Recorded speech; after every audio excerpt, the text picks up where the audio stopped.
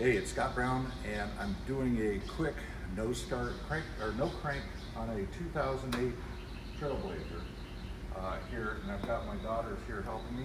Um, everything's intact here. Go to the crank position. Try to crank it. No crank. Okay.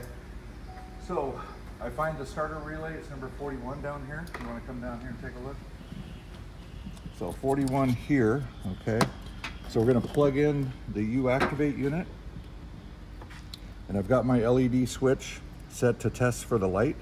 You'll see it's green here, but if you have it flipped over the other way, it'll turn red. That's still okay, but this would be the proper orientation, okay? And then I'm gonna have my assistant crank it and I'm gonna see if we're getting a signal to crank. So go ahead. So we're getting somewhat of a signal. Take it off the crank.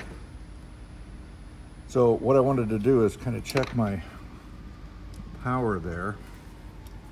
So we're gonna go here to 85. I've got a meter, go ahead and go to crank. So we're getting 10 volts there, okay? And then on this side, crank. Okay, roll off the crank.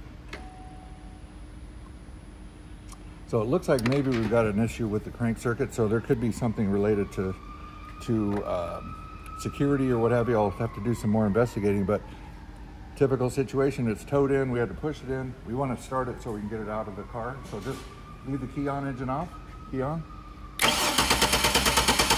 Key on.